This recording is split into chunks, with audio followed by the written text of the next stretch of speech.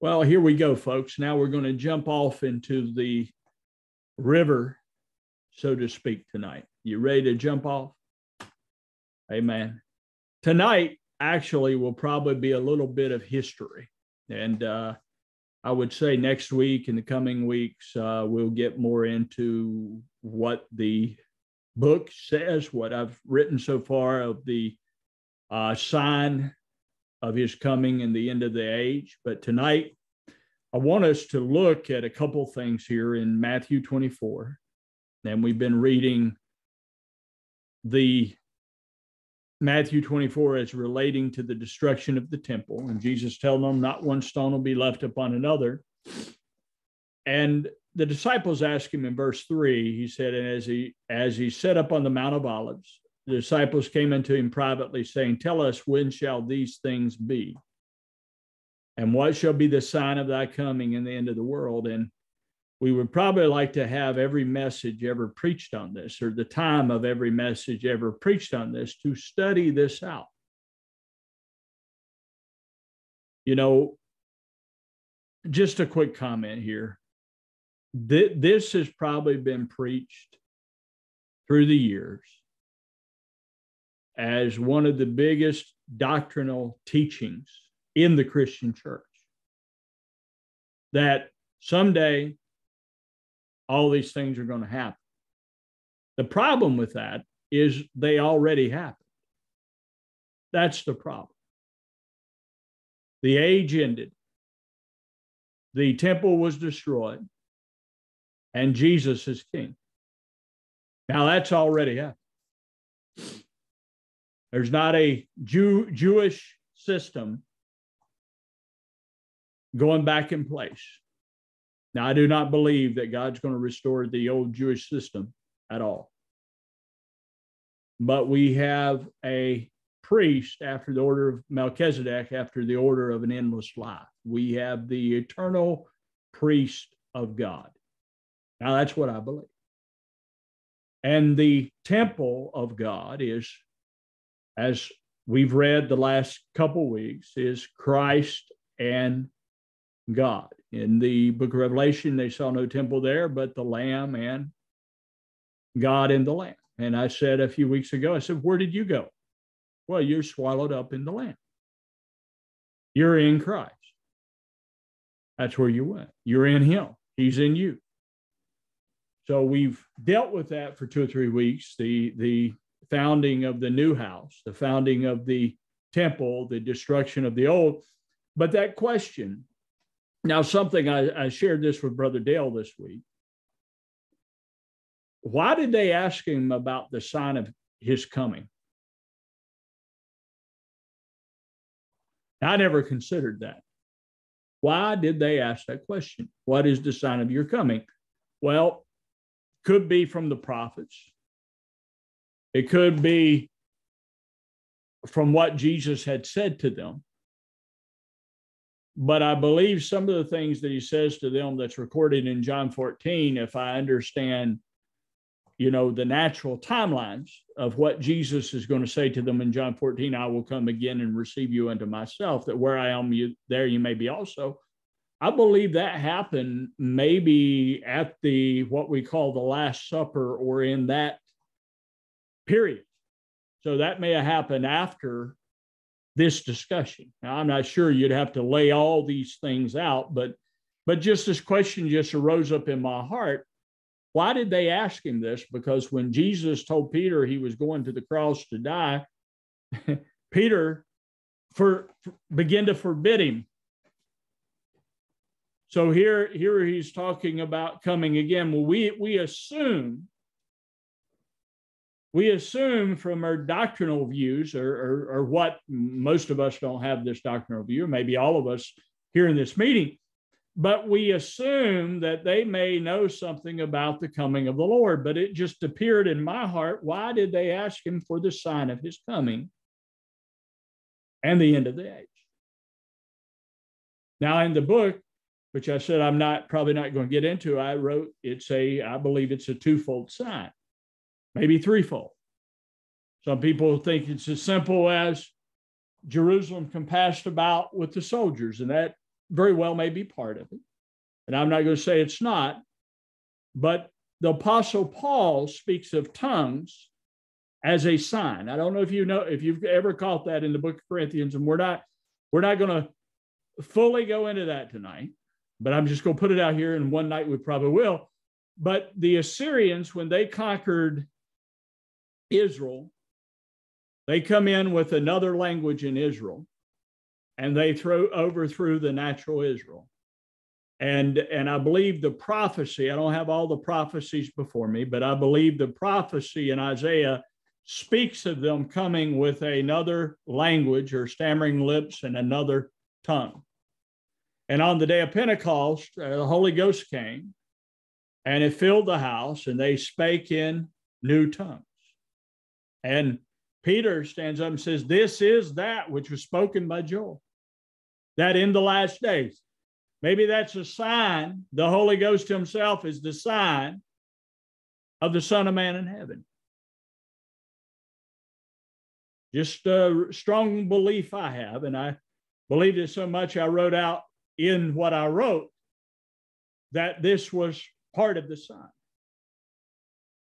The other thing I wrote in there that I believe is part of the sign, Jesus told him, said, There will be no sign given, but the sign of Jonah the prophet.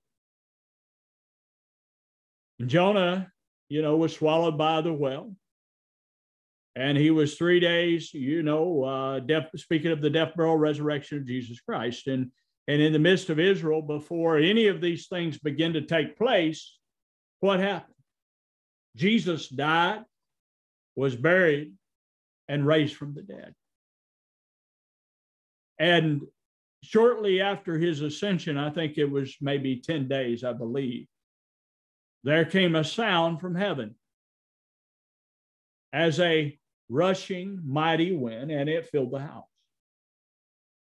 Now, now notice that in Matthew 24, it speaks the sign of the Son of Man in heaven. Well, the sound of the Holy Ghost was from where? Heaven. And John told you, the John the Baptist said that Christ was going to pour out what? The Holy Ghost. He's going to baptize you with the Holy Ghost and fire. And there on the day of Pentecost, what comes? Holy Ghost and fire. what John said happened. And and that was a heavenly sound. I, I believe, folks, me, I believe in speaking in unknown tongues. If you've been around me, I believe it.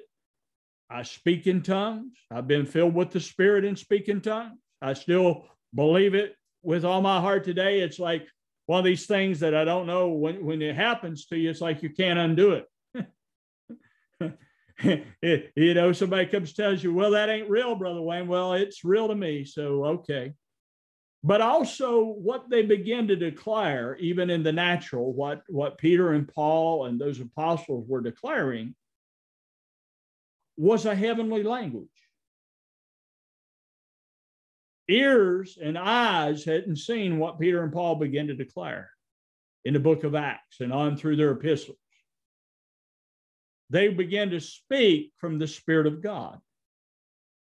So their language, even, you, you know, and part of me believes that the unknown tongue that we speak in is speaking, is even speaking of that that, that it's a heavenly language, and what we're declaring of Christ when we declare Christ by the Spirit is a heavenly language. We, we speak the mysteries of God. We speak the mysteries of God that are made known by the Spirit of God. Okay, that's what we do. So this this will be the introduction for the sign of His coming, and we'll probably look at this for you know, a few weeks like we did the other scripture. So what I want to zero in on tonight is, is in Matthew 24, as you look at this, you know, it goes down and you will, it says, For many will come in my name, saying, I am the Christ, and they will lead many astray. It Jesus says, and Jesus answered them, See that no one leads you astray. See that man not deceive you. I was in a meeting uh, a few years ago when I left the meeting. And I believe it really set up on me when I left the meeting. It may have set up in the meeting. But this scripture just come at me see that man doesn't deceive you. No man.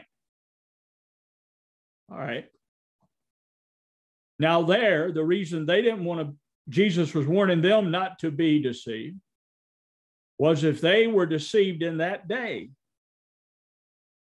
that very day that he was in, they were going to die in Jerusalem.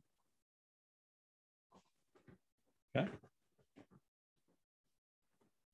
Just taking the spiritual context out of it for a moment.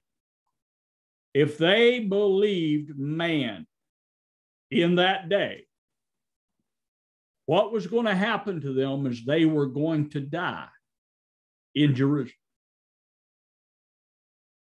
But what the Lord emphasized to me a few years ago is see that man does not deceive you. See, man will deceive you. Natural man will deceive you. The carnal mind can deceive you. And men do it all the time. Men are deceived all the time. Not intentionally. People many times probably deceive people without meaning to intentionally deceive them, but nonetheless they do. To believe things.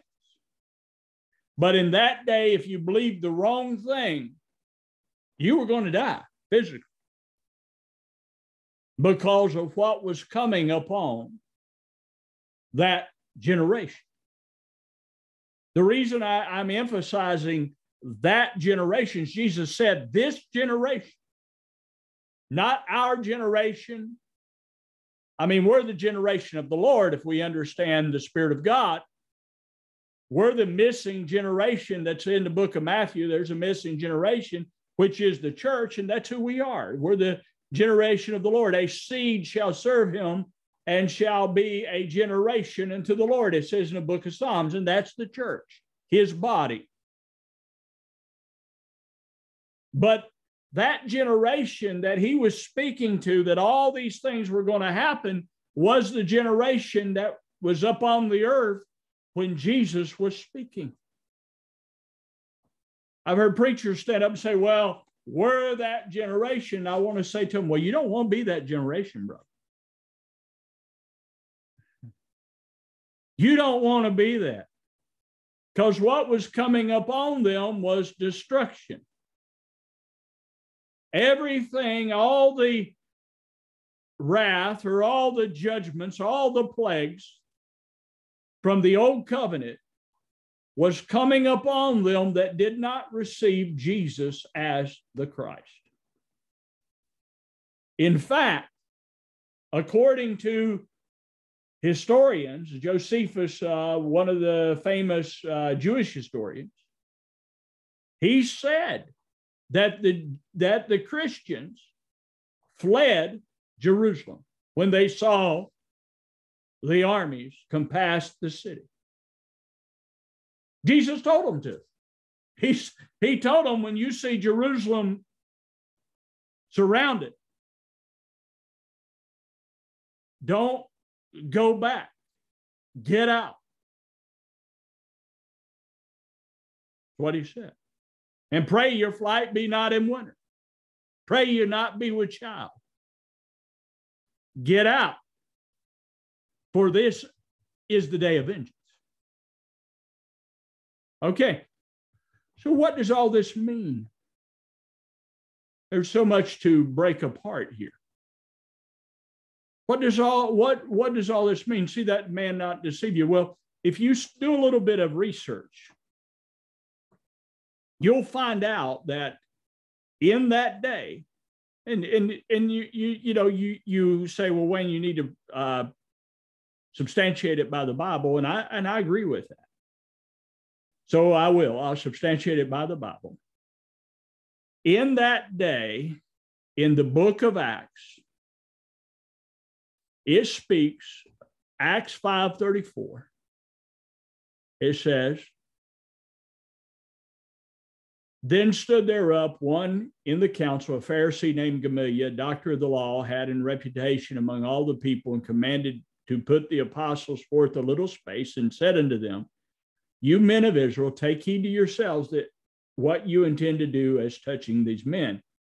For before these days rose up Thaddeus, boasting himself to be somebody to whom a number of men, about 400, joined themselves, who was slain and all as many as obeyed him were scattered and brought to naught. After this man rose up Judas of Galilee in the days of taxing and drew much people after him. He also perished, and all, even as many as obeyed him, were dispersed. And now I say unto you, refrain from these men and let them alone, for if this counsel or work be of men, it will come to naught. But if it be of God, you cannot overthrow it, lest happily you be found even to fight against God. Now, now think on this. So if you study history, these are two examples.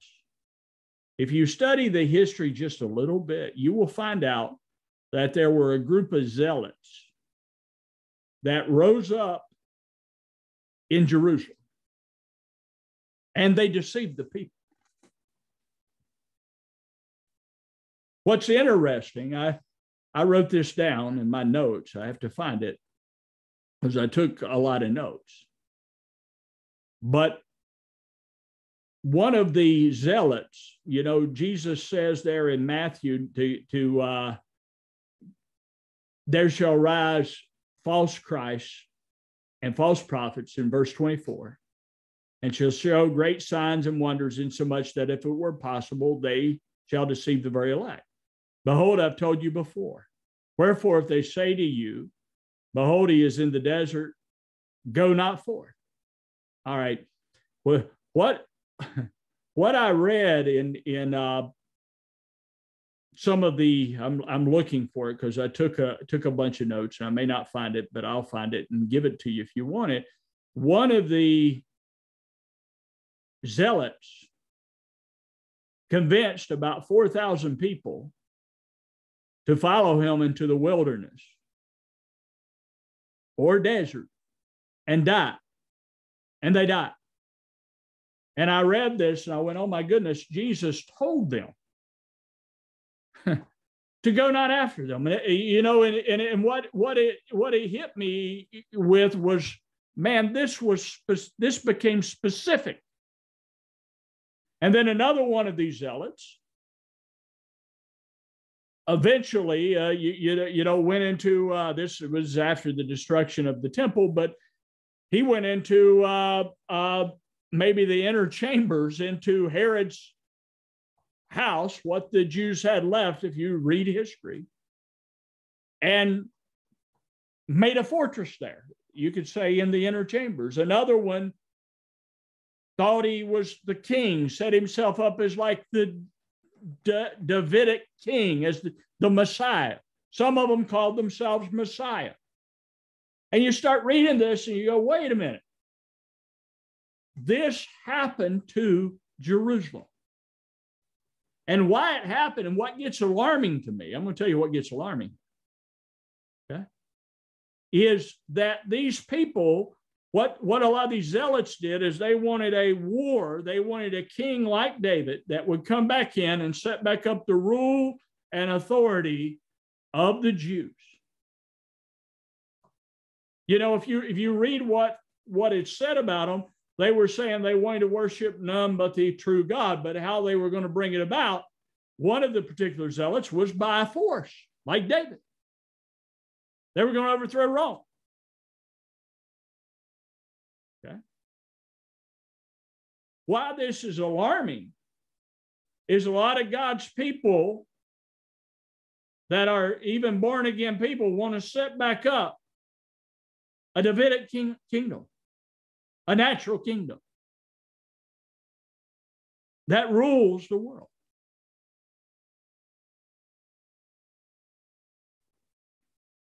Now that's alarming. Because Jesus comes on scene and says, My kingdom's not of this world. So he, the heavenly kingdom is coming. Another kingdom, another another reality that man hadn't known, that I hadn't seen, and ear hadn't heard, you know, is in the prophets, but it had to be made understood by the Spirit. But this literally happened and deceived Jewish people. And it deceived them that hadn't received Jesus as the Messiah, according to the historians. And they died in Jerusalem. The temple was destroyed, the city was burned. And you start reading the history of this, and you go, My Lord, they were fighting not only the Romans, they begin to fight against each other. They begin to starve each other to death, murder each other. And you and you read what Jesus said in Matthew 24, and you go, My Lord, they did, you, you know, they sold each other out.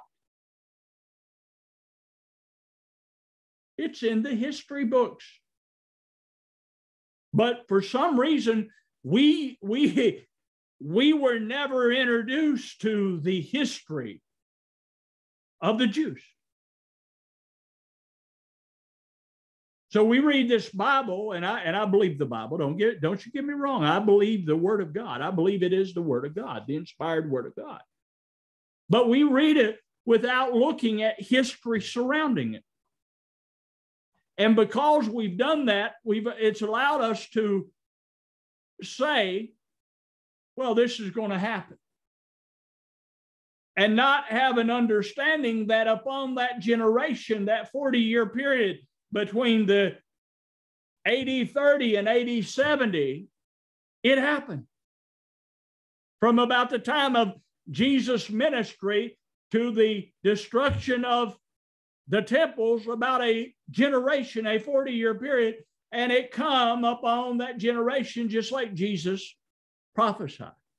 This generation shall not pass till all these things be fulfilled. And one of the most obvious things here that's just obvious is, is Jesus told, told them in Matthew 24 that, that they would, you know, be put to death.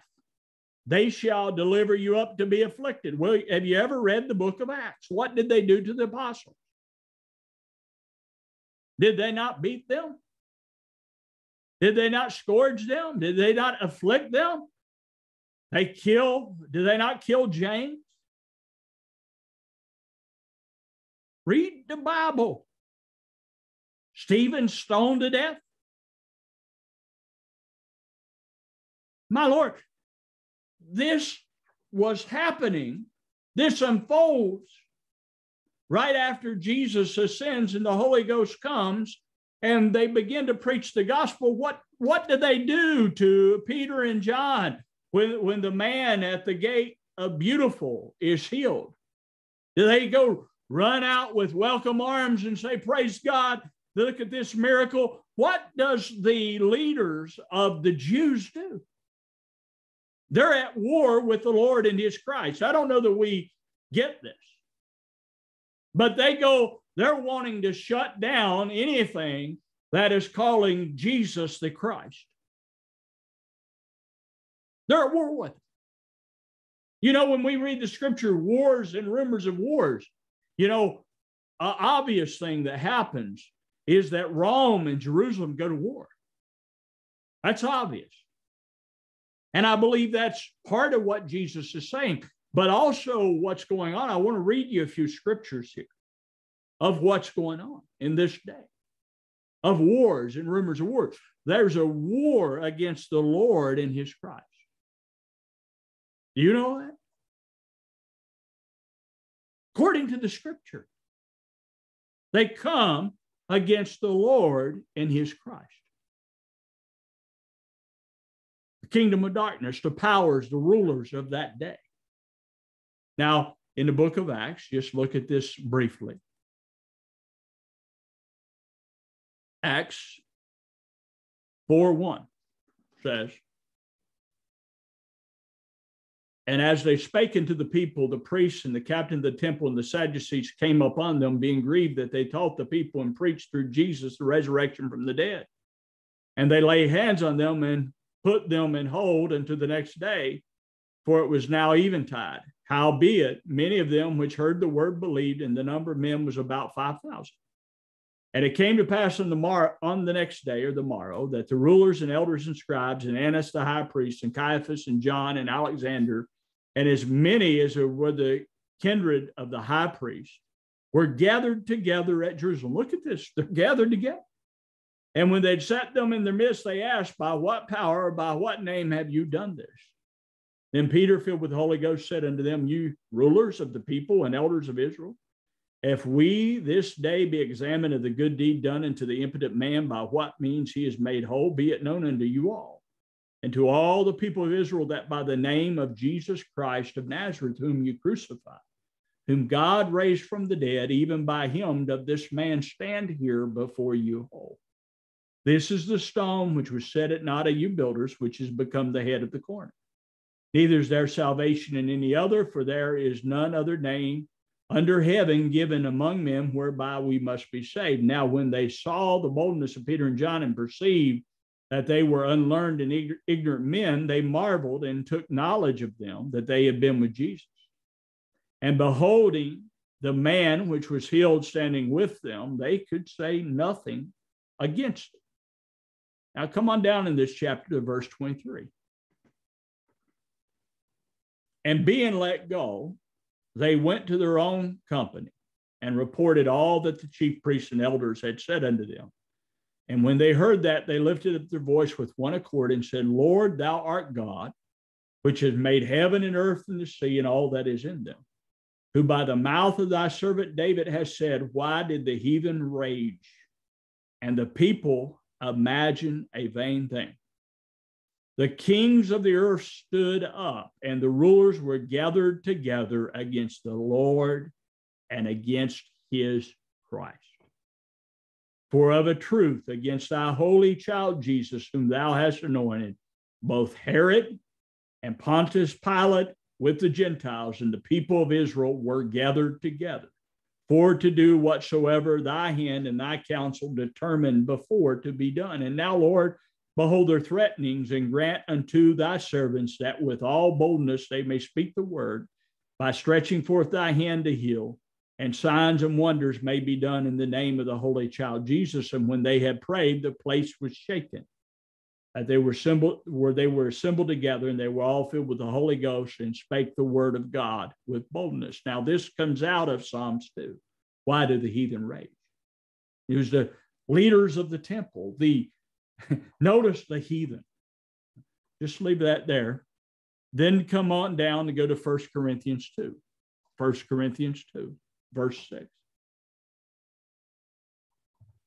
says, 1 Corinthians 2 6 says, Howbeit, we speak wisdom among them that are perfect, yet not the wisdom of this world, nor of the prince of this princes of this world that come to naught. But we speak the wisdom of God in a mystery, even the hidden wisdom which God ordained before the world unto our glory, which none of the princes of this world knew. For had they known it, they would not have crucified the Lord of glory. What would they not have done? See, in the crucifixion was their defeat. In the crucifixion, their power was taken away. No longer did the Jewish high priest have the power. Now they practiced it for a period of time, but it was over. Had they known it, because what happened? What happened was Jesus raised from the dead. He's the high priest after the order of an endless life. He alone is the high priest. There will never be another high priest. And we are priests unto him. We are a royal, royal generation, Peter says, or a royal priesthood, a chosen generation. So here, the priesthood changed. Here, the whole thing changed. Had they known it, they would not have crucified him. So the crucifixion overthrew It not only defeated sin, it overthrew that system, that power, the, the powers of the earth. Think, think about it. There were powers in that old system. There's powers in that old system. If you go sit under that old system and they tell you how full of sin you are every week, what happens? You begin to believe that. But Jesus defeated all those powers. Jesus rose as the victorious king. So there were wars, yes, natural wars and rumors of wars, but there was a, an onslaught, I believe, coming right against the very kingdom of God. And they thought that if they would kill the son, like Jesus said in the parable, he said, he asked them, he said, What will what will the you, you know the Lord do to those servants that kill the son? And I believe uh, Matthew's gospel around chapter 21. And they, and they said he will utterly destroy them. And they perceived he was speaking to them. And he was. Because that was the generation he told them. He said, Jerusalem, you that kill the prophets. So when you go into the book of Revelation, you see in the prophets being killed. Jesus told them Jerusalem is killing the prophets that was sent to them. And you go back through your Bible, and lo and behold, you find it in your Bible. And then lo and behold, Jesus sends disciples, he sends apostles and prophets into Jerusalem, and they kill them. Now the blood is required of them. It was it was that day, that time, that period. But whoever come into covenant with Jesus, whoever received the Lord, was acquitted. It's always been that way. Was acquitted. Even in that day, they were acquitted. He that endures to the end shall be saved. Now, I have a new uh, an understanding of that. That's not just talking about us enduring to the end of our physical life, but there was an endurance to the end right there in Jerusalem that they were to endure to everything Jesus said was complete. So, Matthew 24 is historical and it's spiritual. I told you before, I don't believe it's just historical, I believe it's spiritual. I believe there's a spiritual comprehension of everything, but I believe there's a natural understanding.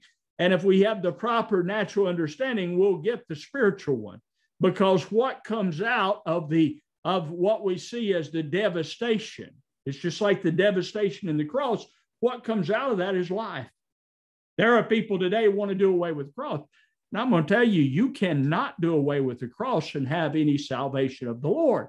It won't work. That's deception. I'll be bold. That is pure deception. And that's what man does. He comes in. What did what did Peter tell Jesus? Oh, you don't have to die. What did Jesus say to Peter? Oh, Peter, you're right.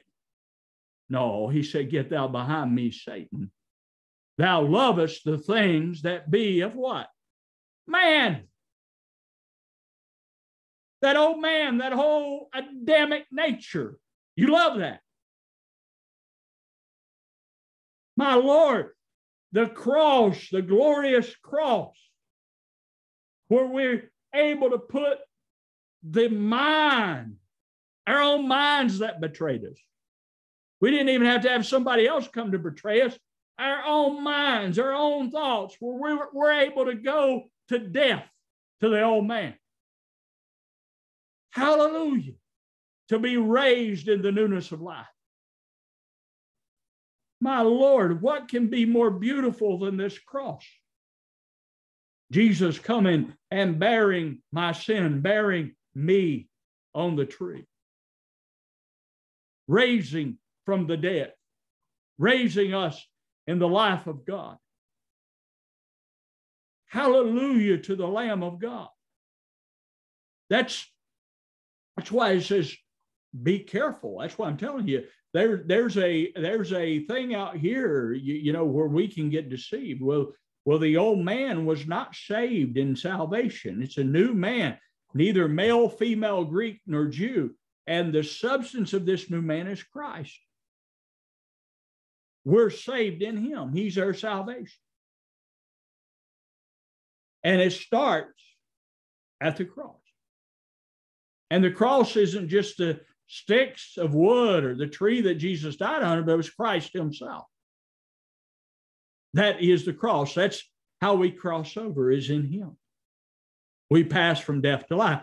So when we look at these things in, in the book of Matthew, Matthew 24 and other places in, in Luke and Mark, he's dealing with a specific situation up on the earth. But it's like I say, it's both natural and I believe spiritual. It's like there'll be some here that won't taste of death till they see the Son of Man coming in his kingdom. And I'm probably not quoting that right. But John and some of the apostles never tasted, I think it was John, never tasted a physical death. All this came about. However, we don't taste of death, the death of the cross, till we see him coming. See, that has a very natural, natural conclusion. But when we see the Lord coming, when we see the revelation of him coming in the clouds of glory, coming in his kingdom, what do we taste of? We taste of his death. We begin to reckon ourselves to be dead unto sin. So it only it doesn't just have a natural conclusion, it has a spiritual conclusion. It has a spiritual reality to it that we're dead with him, we're buried with him, we're crucified with him, we're raised with him. We live in this new life. This new life that he is, this new life that's of him. Yes. And it's when we taste this, oh, taste and see that the Lord is good.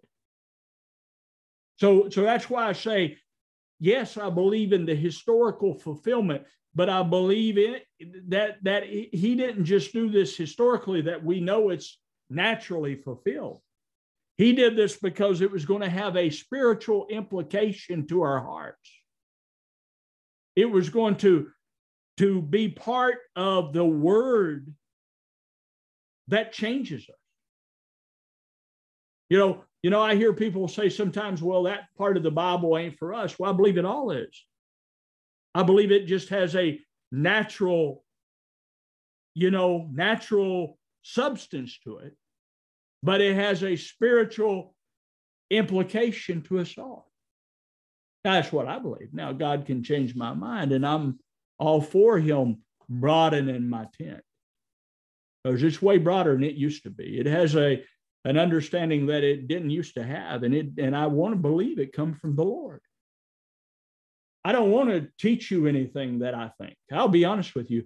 I wish I wish everything I thought would just be demolished of the Lord. I don't care what I think's right. I mean, that sounds bold, but I really don't. I want to know what God says. And I want to live in it.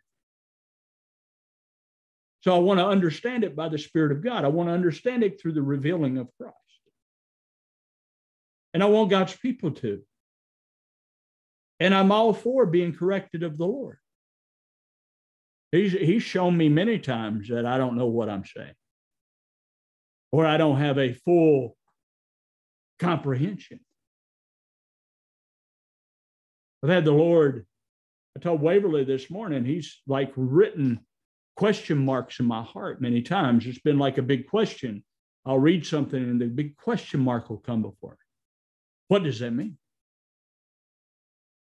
And the beauty of that, when the Lord does that, I, I, I guess I get excited today because I believe He's going to show me. You know, when, young, when I was younger, I probably just got frustrated. Well, I don't know. But now there's an expectation that God's actually going to show me what it means. He's going to give me an understanding, and then He's going to give empower me to live in it, or Him to live in me. And that's what this teaching on Matthew 24 of him, him removing that old system from the earth, him removing that old age and bringing forth the new age is really, to my heart, what I really want people to see is not just he removed it and their doctrine's wrong, but I want them to see this glorious new light that began to shine.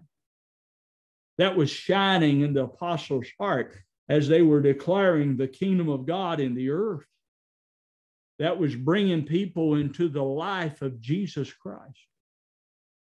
And that that old system never had the power to do it. But now Christ in you, through the Spirit of God, has the power to bring you into his glorious life. That's what I want us to see in this. That the Spirit of God just illuminate our being. Well, I'll stop here tonight. We will continue, Lord willing, next week. And uh, Brother James Register will be sharing Tuesday night. God bless you. And I'm going to start with uh, Brother uh, Dale Green.